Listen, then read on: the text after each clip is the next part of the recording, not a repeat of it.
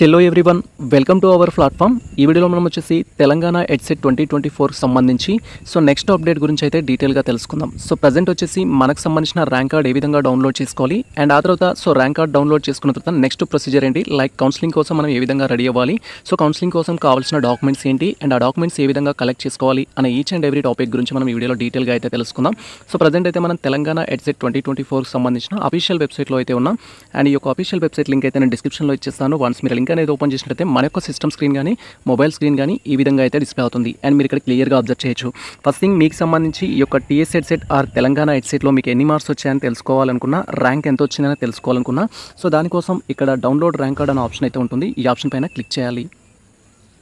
And once మనం download rank card option పైన click చేయగానే నెక్స్ట్ ట్యాబ్లో ఈ విధంగా EdCET hall ticket number next thing me date of birth confirm చేసుకొని వ్యూ ర్యాంక్ కార్డ్ పై అయితే క్లిక్ చేయాల్సి ఉంటుంది. వన్స్ మన డీటెయిల్స్ కన్ఫర్మ్ చేసుకొని వ్యూ ర్యాంక్ కార్డ్ పైన క్లిక్ చేయగానే నెక్స్ట్ ట్యాబ్లో మీకు ఈ యొక్క టీఎస్ హెడ్సెట్ లేదా తెలంగాణ హెడ్సెట్లో మీకు ఎన్ని మార్క్స్ వచ్చాయి మీ ర్యాంక్ ఎంత అనే ఇన్ఫర్మేషన్ అయితే ఉంటుంది. అండ్ మీరు ఇక్కడ క్లియర్గా చూడొచ్చు వన్స్ ఈ విధంగా మనకు సంబంధించిన hall ticket number date of birth confirm చేసుకొని వ్యూ ర్యాంక్ కార్డ్ పైన క్లిక్ చేయగానే సో నెక్స్ట్ ట్యాబ్లో మనకు సంబంధించి TG EdCET twenty twenty four సంబంధించిన ర్యాంక్ కార్డ్ అయితే డిస్ప్లే అవుతుంది. సో దీంట్లో మనకు లెఫ్ట్ సైడ్ కార్నర్లో క్యాండిడేట్ యొక్క ప్రొఫైల్ ఉంటుంది. రైట్ సైడ్ కార్నర్లో క్యాండిడేట్ యొక్క ఫోటో సిగ్నేచర్ అనే ఇన్ఫర్మేషన్ అయితే ఉంటుంది. సో ఈ ప్రొఫైల్ డీటెయిల్స్ అయితే మీరు వెరిఫై చేసుకోవాలి. లైక్ మీ యొక్క నేమ్లో మిస్టేక్ ఉన్న డేట్ ఆఫ్ బర్త్లో మిస్టేక్ ఉన్న ఫాదర్ నేమ్లో మిస్టేక్ ఉన్న మదర్ నేమ్లో మిస్టేక్ ఉన్న జెండర్లో మిస్టేక్ ఉన్న కేటగిరీలో మిస్టేక్స్ ఉన్న సో మీరు మన యొక్క టీఎస్ ఎడ్సెట్ కన్వీనర్ ఆఫీస్కి మెయిల్ చేసినట్లయితే వాళ్ళు కరెక్షన్ చేయడం జరుగుతుంది. లేదా కౌన్సిలింగ్ అప్పుడు కూడా మనం కరెక్షన్ చేసుకోవడానికి అయితే ఛాన్స్ ఉంటుంది. అండ్ వన్స్ మనం స్క్రీన్ అనేది స్క్రోల్ చేసినట్టయితే సో మనకు సంబంధించి ఈ యొక్క బీఈడీ ఎంట్రన్స్ టెస్ట్లో ఎన్ని మార్క్స్ వచ్చాయి ర్యాంక్ ఎంత అనే ఇన్ఫర్మేషన్ అయితే తెలుసుకోవచ్చు. సో ఇక్కడ మనకు వచ్చేసి ఈ యొక్క బీఈడీ ఎంట్రన్స్ టెస్ట్ అనేది వన్ ఫిఫ్టీ మార్క్స్ అయితే కండక్ట్ చేయడం జరిగింది. అండ్ ఇక్కడ మీకు వచ్చిన మార్క్స్ అయితే చూపిస్తుంది. సో మీరు ఇక్కడ అబ్జర్వ్ చేస్తున్న దాని ప్రకారం ninety two point fifty four అయితే ఉంది. సో మెనీ ఆస్పిరెంట్స్ ఏమడుగుతారంటే సార్ సార్ పాయింట్లో ఎలా వస్తుంది? మనకు నెగిటివ్ మార్క్స్ ఏం లేవు కదా అని కూడా క్వైరీ చేశారు. సో ఈ టాపిక్ గురించి నేను డీటెయిల్గా ఎక్స్ప్లెయిన్ చేస్తాను. అండ్ ఆ తర్వాత నెక్స్ట్ క్వశ్చన్ ఏంటంటే సో ఇక్కడ ర్యాంక్ అయితే ఉంది సార్ స్టేట్ ర్యాంక్ అంటున్నారు. అది కేటగిరీ వైజ్గా ఓపెన్ ర్యాంక్ అని అడుగుతారు. సో ర్యాంక్స్ ఎప్పుడైనా ఇష్యూ చేసేటప్పుడు దానికి కేటగిరీ అనేది అప్లికేబుల్ చేయరు. అంటే ఎస్టీ వాళ్ళందరినీ ఒక రకంగా సో బీసీ వాళ్ళందరినీ ఒక రకంగా డివైడ్ చేసి ర్యాంక్ అనేది మనకి ఇవ్వరు. సో ర్యాంక్ అనేది ఏంటంటే స్టేట్ వైజ్ స్టేట్లో మీకు టూ సిక్స్టీ వచ్చిందంటే మీరు టూ సిక్స్టీ ర్యాంక్ అనమాట సో ఓపెన్ పరంగా మీరు టూ సిక్స్టీ ర్యాంక్లో ఉన్నట్టు. సో మీరు కేటగిరీ పరంగా అనేది తర్వాత డివైడ్ చేసుకోవాల్సి ఉంటుంది. అది కేటగిరీ పరంగా మనకు ర్యాంక్ అయితే ఇవ్వరు. సో ఇక్కడ నైంటీ టూ మార్క్స్ వచ్చినందుకు గాను ఇక్కడ టూ సిక్స్టీ మార్క్స్ అయితే రావడం టూ సిక్స్టీ ర్యాంక్ అయితే రావడం జరిగింది. అండ్ ఇప్పుడు మార్క్స్ గురించి మనం మాట్లాడుకున్నట్టయితే సో ఇక్కడ ninety two point fifty four point ఇలా ఎందుకు వచ్చింది అని మీరు క్వైరీ చేస్తారు చాలా వరకు. సో అంటే మనకు నైంటీ టూ క్వశ్చన్స్ కరెక్ట్ పెట్టామనుకో నైంటీ టూ రావాలి. నైంటీ త్రీ పెట్టుంటే నైంటీ త్రీ రావాలి. బట్ పాయింట్స్లో ఎందుకు వచ్చిందని కూడా క్వైరీ చేస్తారు. సో దాని గురించి నేను క్లియర్ కట్గా అయితే ఎక్స్ప్లెయిన్ చేస్తాను. సో ఇక్కడ బీఈడీ ఎంట్రన్స్ టెస్ట్లో కావచ్చు ఏదైనా ఎంట్రన్స్ టెస్ట్ అనేది మనకు టూ సెషన్స్ కానీ త్రీ సెషన్స్ కానీ కండక్ట్ చేసినట్టయితే మనకు నార్మలైజేషన్ చేయడం జరుగుతుంది. అంటే పేపర్ టఫ్ వచ్చింది ఈజీ వచ్చింది అనే డిఫరెన్సెస్ ఉండొద్దు కాబట్టి. సో ఆ రెండింటిని మనకు నార్మలైజేషన్ చేయడం అంటే యావరేజ్ చేస్తారు మార్క్స్ని యావరేజ్ చేసి ఫైనల్ రిజల్ట్ అయితే ఇవ్వడం జరుగుతుంది.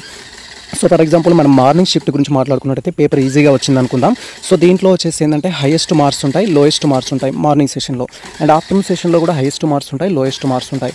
సో ఇప్పుడు హైయెస్ట్ మార్క్స్ వచ్చేసి ఏంటంటే మనకు for example so highest marks hundred వచ్చాయి అనుకుందాం మార్నింగ్ సెషన్లో సో ఇది సెషన్ వన్కి సంబంధించి అండ్ ఇక్కడ హైయెస్ట్ మార్క్స్ సెషన్ టూకి సంబంధించి ఒక ఎయిటీ మార్క్స్ వచ్చాయి అనుకుందాం సో ఇప్పుడు నార్మలైజేషన్ ప్రాసెస్ ఎలా ఉంటుందంటే ఈ రెండింటిని మనకు యావరేజ్ చేసి మిడ్ పాయింట్ ఏదైతే ఉంటుందో అది ఫస్ట్ ర్యాంకర్కి ఇవ్వడం జరిగింది. సో ఇవి రెండింటిని యావరేజ్ చేసినట్టయితే సో ఇక్కడ మార్నింగ్ సెషన్లో ఎగ్జామ్ రాసిన ఆస్పిరెంట్స్కి కీ ప్రకారం హండ్రెడ్ మార్క్స్ వస్తే వీళ్ళు ఫైనల్ రిజల్ట్ ఇచ్చిన తర్వాత నైంటీ రావడం జరుగుతుంది అంటే మైనస్ టెన్ టెన్ అనేది తగ్గుద్ది వీళ్ళకి. అంటే ఎగ్జాక్ట్లీ టెన్ తగ్గాలని కాదు కొన్నిసార్లు ఫోర్ తగ్గొచ్చు సిక్స్ తగ్గొచ్చు బేస్డ్ ఆన్ సిచ్యువేషన్ బట్టి ఉంటుంది. అండ్ ఆఫ్టర్నూన్ సెషన్లో ఎగ్జామ్ రాసిన ఆస్పిరెంట్స్ కూడా ఉంటారు. సో వీరికి ఏమవుతుంది అంటే మీకు కీ ప్రకారం ఎయిటీ మార్క్స్ ఉన్నాయి కదా సో ఇప్పుడు మీకు ఎంత వస్తుందంటే నైంటీ మార్క్స్ చూపేయడం కానీ ఎయిటీ ఫైవ్ మార్క్స్ చూపేయడం కానీ కొన్ని మార్క్స్ అయితే పెరగచ్చు. అంటే బేస్డ్ ఆన్ సో ఇది మనకు టఫ్ ఈజీ వచ్చింది ఇది మనకు టఫ్ వచ్చింది కాబట్టి సో కొందరికేమో మార్క్స్ పెరుగుతాయి కొందరికేమో మార్క్స్ తగ్గడం జరుగుతుంది. సో ఎవరైతే టాప్ లిస్ట్లో ఉంటారో అంటే ఫస్ట్ ర్యాంకర్ సెకండ్ ర్యాంకర్ ఉంటారో వాళ్ళకి ప్రాబ్లం ఉండదు. బట్ ఇక్కడ లీస్ట్ మార్క్స్ ఉంటాయి కదా లాస్ట్ మనకు. సో వాళ్ళకి ప్రాబ్లం అవుతుంది. ఫర్ ఎగ్జాంపుల్ మీకు మార్నింగ్ సెషన్ ప్రకారం ఒక ఫార్టీ వచ్చాయనుకుందాం మీరు క్వాలిఫైడ్ యాజ్ పర్ రూల్ ప్రకారం. సో కానీ ఇక్కడ వీళ్ళకి వచ్చేసి ఏంటంటే థర్టీ టూనే వచ్చాయి అనుకుందాం. సో ఈ సెషన్ ప్రకారం ఆఫ్టర్నూన్ సెషన్ ప్రకారం థర్టీ టూ వచ్చినాయి అనుకుందాం. సో ఈ రెండింటిని మిడ్ ఫిగర్ చేయడం జరుగుతుంది. సో మిడ్ ఫిగర్ చేసి ఏదైతే ఉంటుందో వాటికి ఇస్తారు. సో మిడ్ ఫిగర్ చేస్తే మనకు ఇక్కడ ఒక రెండు తగ్గితే ఇక్కడ ఒక రెండు తగ్గుతుంది. సో అప్పుడు మనకు థర్టీ సిక్స్ అవుతుంది. సో ఇక్కడ మనకు థర్టీ ఫోర్ మార్క్స్ రావచ్చు. సో థర్టీ ఫోర్ మార్క్స్ రావడం వల్ల ఏమవుతుందంటే వీళ్ళు డిస్క్వాలిఫై అవుతారు. వీళ్ళు కూడా డిస్క్వాలిఫై కావడం జరుగుతుంది. అంటే ఎంట్రన్స్ టెస్ట్లో క్వాలిఫైడ్ కాకుండా పోతారు. సో ఇలాంటి సిచ్యువేషన్ జరుగుతుంది నార్మలైజేషన్స్ వల్ల. కొన్నిసార్లు టెన్ మార్క్స్ తగ్గొచ్చు. కొన్నిసార్లు టెన్ మార్క్స్ అనేది సో కొన్నిసారి టెన్ మార్క్స్ పెరగచ్చు కొన్నిసారి టెన్ మార్క్స్ అనేది తగ్గొచ్చు. బట్ ఈ మార్క్స్ అనేది టెన్నే ఉంటాయని కాదు కొన్నిసార్లు టూ ఉండొచ్చు త్రీ ఉండొచ్చు ఫోర్ ఉండొచ్చు. సో డిఫరెంట్ డిఫరెంట్ వెర్షన్స్లో డిఫరెంట్ డిఫరెంట్ అనేది ఉంటుంది. అంటే సో యావరేజ్ మార్క్స్ అనేది తీస్తారు. సో ఎక్కువ మార్క్స్ వచ్చిన వారిని కొంతమందిని తక్కువ మార్క్స్ వచ్చిన వారిని కొంతమందిని యావరేజ్ చేసి సో మినిమం స్కోర్ అయితే తీయడం జరుగుతుంది. దానివల్ల ఈ వేరియేషన్ అయితే ఉంటుంది. సో ఎవరైతే ఇప్పుడు ఈ యొక్క నార్మలైజేషన్స్ వల్ల మార్క్స్ తగ్గిన వాళ్ళు కానీ లేదా క్వాలిఫైడ్ డిస్క్వాలిఫైడ్ క్వాలిఫైడ్ కాని స్టూడెంట్స్ ఎవరైతే ఉన్నారో సో మీరు ఇప్పుడు చేసేది ఏముండదు. జస్ట్ ఫర్దర్ స్టెప్స్ కోసం అయితే వెయిట్ చేయాలి. సో క్వాలిఫైడ్ క్యాండిడేట్ కాని క్యాండిడేట్స్ అయితే మీరు టీఎస్ సెట్ సెట్ ద్వారా కాలేజ్లో అయితే జాయిన్ కాలేరు. సో మీరు ఒకవేళ కాలేజ్లో జాయిన్ కావాలంటే ఏంటి అని నేను నెక్స్ట్ డీటెయిల్ వీడియో చేస్తాను. ఆ వీడియో కోసం అయితే వెయిట్ చేయండి. అండ్ ఆ తర్వాత వచ్చేసి మనకు నెక్స్ట్ అనేది సర్టిఫికేట్ వెరిఫికేషన్ అయితే ఉంటుంది. ఎవరైతే క్వాలిఫైడ్ క్యాండిడేట్స్ ఉంటారో సో ఇక్కడ క్వాలిఫైడ్ క్యాండిడేట్స్ అంటే ఏంటంటే మీరు రాసిన బీఈడీ ఎంట్రన్స్ టెస్ట్లో సో మీరు బీసీ అండ్ ఓసీ అయినట్లయితే బీసీ లేదా ఓసీ అయినట్లయితే మీకు థర్టీ ఎయిట్ మార్క్స్ కానీ థర్టీ ఎయిట్ మార్క్స్ కానీ ఎక్కువ వచ్చినట్లయితే మీరు క్వాలిఫైడ్ అవుతారు. దట్ ఈస్ మీరు ఫస్ట్ షిప్లో రాసిన సెకండ్ షిప్లో రాసిన యాజ్ పర్ ఫైనల్ రిజల్ట్ ప్రకారం థర్టీ ఎయిట్ ప్లస్ ఉంటే మీకు ర్యాంక్ అనేది ఇవ్వడం జరుగుతుంది. సో ఒకవేళ మీకు థర్టీ ఎయిట్ అంటే తక్కువగా ఉంటే మీరు ర్యాంక్ అనేది ఉండదు. నాట్ క్వాలిఫైడ్ అని ఇస్తారు. సో నాట్ క్వాలిఫైడ్ వారి గురించి నేను డీటెయిల్ వీడియో చేస్తాను. సో మీరు ఏ విధంగా కాలేజ్లో జాయిన్ అవ్వచ్చు వన్ ఇయర్ బ్రేక్ రావద్దు అంటే ఏం చేయాలనే వీడియో చేస్తాను. ఆ వీడియో కోసం వెయిట్ చేయండి. ఎవరైతే ఎస్సీ ఎస్టీ ఉంటారో మీకు ఎటువంటి క్వాలిఫైడ్ మార్క్స్ ఉండవు. జీరో వచ్చినా కూడా మీరు ర్యాంక్ అనేది ఉంటుంది. For example twenty four thousand twenty eight thousand something ఏదో ఒక ర్యాంక్ అయితే ఉంటుంది ఎస్సీ ఎస్టీ ఫిజికల్ డిజబుల్ పర్సన్స్కి అయితే. సో మీకు జీరో మార్క్స్ వచ్చినా కూడా మీరు డైరెక్ట్గా బీఎడ్ ఎంట్రన్స్ టెస్ట్ల ద్వారా మీరు కాలేజ్లో అయితే జాయిన్ అవ్వచ్చు.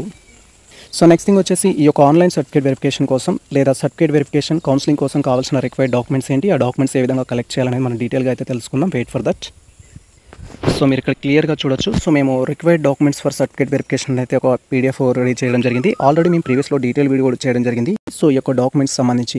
సో ఎవరైతే ప్రజెంట్ ఈ యొక్క ఎడ్సెట్ ఎంట్రన్స్ టెస్ట్ రాసి అండ్ ర్యాంక్ వచ్చి క్వాలిఫైడ్ అయిన క్యాండిడేట్స్ ఉన్నారో సో మీరు ఫర్దర్గా సర్టిఫికేట్ వెరిఫికేషన్ కోసం అయితే రెడీ కావాల్సి ఉంటుంది. రెడీ అయ్యే ప్రతి క్యాండిడేట్ ఈ యొక్క ఆల్ డాక్యుమెంట్స్ అయితే కలెక్ట్ చేయాల్సి ఉంటుంది. సో దాంట్లో నేను కలర్స్ డివైడ్ చేయడం జరిగింది. సో ఏదైతే మీరు చూస్తున్న గ్రీన్ కలర్ ఉందో ఇవి తప్పనిసరి డాక్యుమెంట్స్ ప్రతి క్యాండిడేట్ దగ్గర ఉండాల్సి ఉంటుంది. ఫస్ట్ వన్ వచ్చేసి మీ యొక్క ఎడ్సెట్ ఎంట్రన్స్ టెస్ట్ రాసిన హాల్ టికెట్ అనేది. సో హాల్ టికెట్ టికెట్ ఏ విధంగా డౌన్లోడ్ చేసుకోవాలని మేము ప్రీవియస్లో డీటెయిల్ వీడియో చేయడం జరిగింది. ఆ వీడియో చూసి మీరు హాల్ టికెట్ అయితే డౌన్లోడ్ చేసుకోండి. ఈ యొక్క హాల్ టికెట్ ఏదైతే ఉంటుందో సో మీ యొక్క కోర్స్ కంప్లీట్ అయ్యే వరకు మీతో పాటు ఉండాల్సి ఉంటుంది. Hall ticket and rank card అనేది మనకు రెండు ఇంపార్టెంట్ సో మీరు కాలేజ్లో జాయిన్ అవ్వాలన్నా కౌన్సిలింగ్ అటెండ్ అవ్వాలన్నా ఈ టూ థింగ్స్ ద్వారానే మీకు నెక్స్ట్ ప్రాసెస్ అయితే జరుగుతుంది. సో ఈ రెండు ఏ విధంగా డౌన్లోడ్ చేసుకోవాలని మేము ఆల్రెడీ వీడియో చేస్తాము సో ఆ వీడియో చూస్తూ మీరు డౌన్లోడ్ చేసుకోవచ్చు. నెక్స్ట్ థింగ్ వచ్చేసి ఎస్ఎస్సి మేమో సో మీరు టెన్త్ క్లాస్ కంప్లీట్ చేసి ఆ తర్వాత ఇంటర్మీడియట్ చేసి డిగ్రీ చేసి ఇప్పుడు బీఎడ్ చేస్తున్నట్టయితే ఖచ్చితంగా మీకు ఎస్ఎస్సీ మేమో ఆర్ ఈక్వల్ అయితే కావాల్సి ఉంటుంది. అంటే కొంతమంది ఎస్ఎస్సీ చేయకుండా డైరెక్ట్గా ఓపెన్ డిగ్రీ చేసి ఓపెన్ డిగ్రీ ద్వారా బీఎడ్ చేసిన హాస్పిటల్స్ ఉంటారు. సో అలాంటి వారికి SSC memo not mandatory and next thing intermediate memo అయితే కావాల్సి ఉంటుంది. So SSC memo intermediate memo అనేది మీకు ఒరిజినల్ ఉండాలి. అవి మనము సర్టిఫికేట్ వెరిఫికేషన్కి వెళ్ళేటప్పుడు మనతో పాటు తీసుకెళ్ళాల్సి ఉంటుంది. సో నెక్స్ట్ థింగ్ వచ్చేసి degree memo provisional certificate so degree memo and provisional అయితే ఉంటుంది. కొన్ని యూనివర్సిటీస్లో ఓన్లీ సో రెండు కలిపి ఒకటే ఉంటుంది. So degree CMM cum provisional అని లైక్ ఓపెన్ యూనివర్సిటీలో చేసిన వరకు అయితే ఒకే మెమో ఇస్తారు. రెండు మెమోస్ ఇవ్వరు. బట్ రిమైనింగ్ యూనివర్సిటీస్లో చేసిన ఆస్పిరెంట్స్కి డిగ్రీ మెమో మార్క్స్ మెమో సపరేట్గా ఇస్తారు. ప్రొవిజనల్ సపరేట్గా ఇస్తారు. మీ యొక్క డిగ్రీ కంప్లీట్ అయిన తర్వాత సో ఈ యొక్క మెమో అయితే కావాల్సి ఉంటుంది. సార్ మేము ఇప్పుడు ఫైనల్ ఇయర్ స్టూడెంట్స్ ఇంకా మేము రిజల్ట్ కోసం వెయిట్ చేస్తున్నాము. సో లేదా ఇంకా మాకు మెమో కోసం వెయిట్ చేస్తున్నాం. మేమేం చేయాలి అంటే సో మీకు రిజల్ట్ వచ్చిన తర్వాత ఆ రిజల్ట్ ప్రింట్ ఏదైతే ఉంటుందో అది మీరు ఆన్లైన్ సర్టిఫికేట్ వెరిఫికేషన్ కోసం లేదా కౌన్సిలింగ్ కోసం అయితే దాన్ని తీసుకెళ్ళొచ్చు. వాళ్ళు యాక్సెప్ట్ చేస్తారు. నో ప్రాబ్లం సో మీ గురించి డీటెయిల్ వీడియో చేస్తాను. ఎవరైతే ప్రజెంట్ ఫైనల్ ఇయర్ చదువుతున్న విద్యార్థులు ఉన్నారో రిజల్ట్ కోసం వెయిట్ చేస్తున్న వాళ్ళు కానీ అండ్ లాంగ్ మెమో లేని కారణంగా రిజల్ట్ రాకపోవడం వల్ల ఇంకా లాంగ్ మెమో రాలేదని ఎవరైతే వెయిట్ చేస్తున్నారో మీరు వెయిట్ చేయండి. బట్ కౌన్సిలింగ్ కోసం అయితే మనకు కావాల్సింది డిగ్రీ మేమైనా ప్రొవిజనల్ అయితే కావాల్సి ఉంటుంది. అండ్ వీటితో పాటు తప్పనిసరి కావాల్సింది ఏంటంటే మనకు బోనఫైడ్ సర్టిఫికేట్స్ దీన్నే స్టడీ కండక్ట్ సర్టిఫికేట్స్ అంటాము. సో మనకు నైన్త్ క్లాస్ నుంచి డిగ్రీ వరకు కావాల్సి ఉంటుంది. సో ఎవరైతే so ninth class tenth class intermediate degree regular స్కూల్స్లో రెగ్యులర్ కాలేజెస్లో చదివిన వారు ఉంటారు.